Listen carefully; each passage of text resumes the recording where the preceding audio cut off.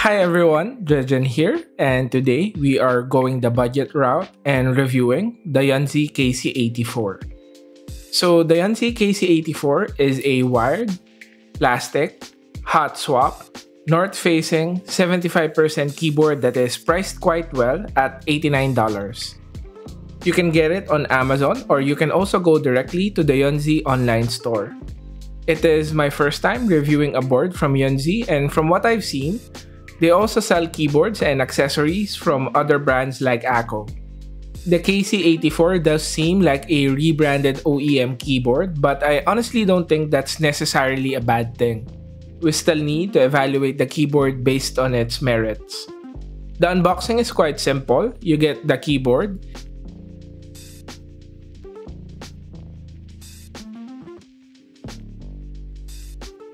a non-braided USB cable, a switch, and a keycap puller. Going to the design and layout, you do get a lot of color options, which is always nice. I went with the race white version that has a white angled case. The layout here is the usual 75% layout. This is a good layout for those who want something more compact than a TKL, but use the function rows regularly.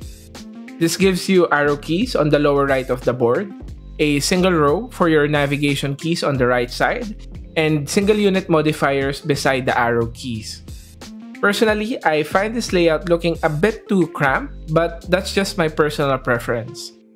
Finding replacement keycaps will also get a bit tricky since this layout is not standard. Speaking of keycaps, the ones here are backlit and two-toned white and gray. They are decent, not that thick, but they do feel good to type on. The only issue is that the legends here are the ones where you have slits on the letters, but for this price point, I'm okay with it. The default typing angle is fine and you get single step adjustable feet, but I think that angle is a bit too high, so I just use the default one. Going to the back of the case, you'll see that the USB Type-C socket is placed way back here. This would be okay if your cable is a regular USB cable since this allows you to use the cable routing channels but if you use custom coiled cables like I do, there's a good chance that it will not fit the board. I would also advise you to be careful with the routing channels since I broke the included USB cable using this. It seems that the bend puts too much stress on the cable, so be careful. The build quality of the case is also a bit questionable. The material used for the case seems too thin and you do feel that when holding the board. Even just moving the board on your desk, you can feel the sides squeak a bit with the slightest pressure. The bottom of the case does feel solid, so I'm not sure why they had something quite flimsy for the sides. Okay, so let's do a typing test.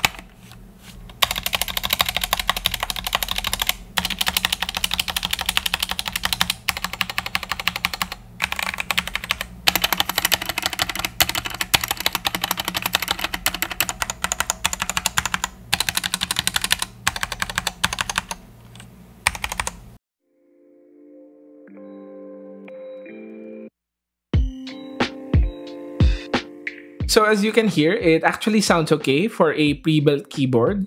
There is a bit of rattle on the stabs, which is expected, and a bit of spring ping on the switches, since these are not lubed. The good thing is that this keyboard is hot swappable, meaning you can change the switches and the stabilizers by simply pulling them out. Which is what we'll do here. We'll do a quick build so you can get an idea how this keyboard is when you customize it.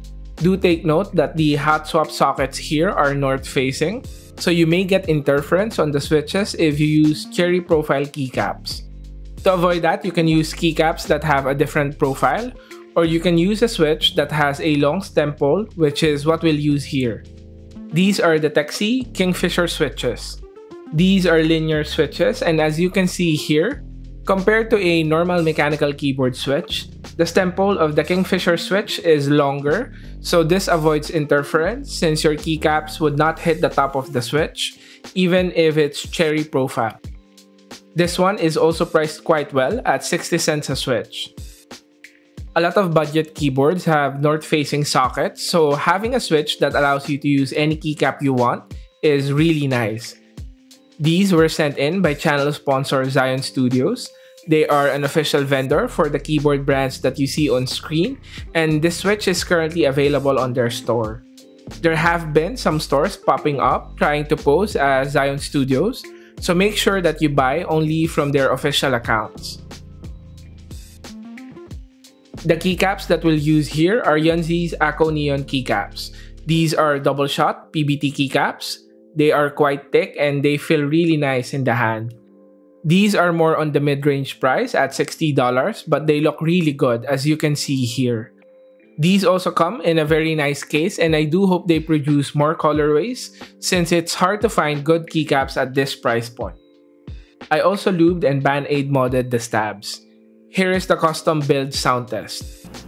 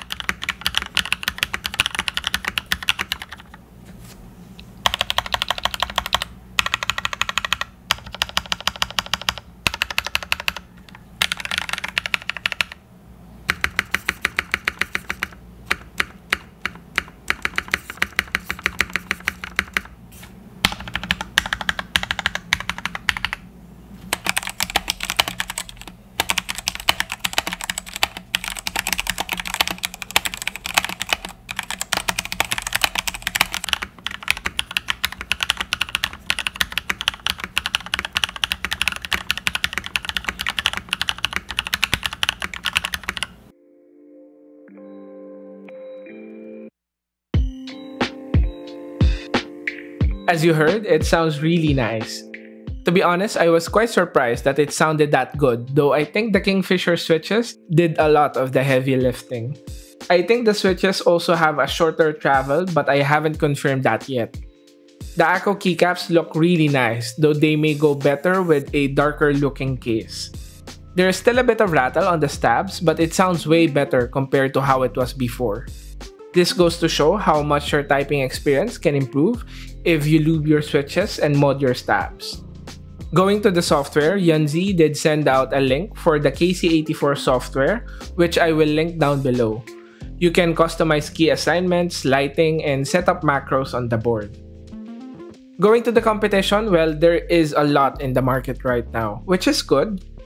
Direct competitions are the rebrands of this one, like the Epomaker EP84, the Yunzii Akko 3084 is also a good alternative if you want something that looks good, though it is not hot swap and the typing experience is not that good. At least in my eyes, the biggest competition is the Keychron K2, which is a bit more expensive but you do get Bluetooth and a metal frame on the $100 version, though it only comes in a black colorway. Choosing between these alternatives will mostly be driven by your preferences in terms of design and functionality. To summarize, I think the Yunzii KC84 is a good beginner keyboard for those who want to dip their toes in the hobby. The layout makes it more accessible compared to the popular 60% in the market, and it is hot swap which is a must for those who want to try to customize their typing experience. However, the build quality is not that good, and some of the design choices can be improved, but for the price, it's acceptable. Just take time to work on your stabs and lube your switches, and you should have a good keyboard in your hands. And that is it for this video. I have also made other budget keyboard builds, and the links will be shown on the screen if you are interested. If you enjoyed this one, please do consider subscribing, and I hope I have helped you in deciding whether this is the keyboard for you. See you on the next one. Bye!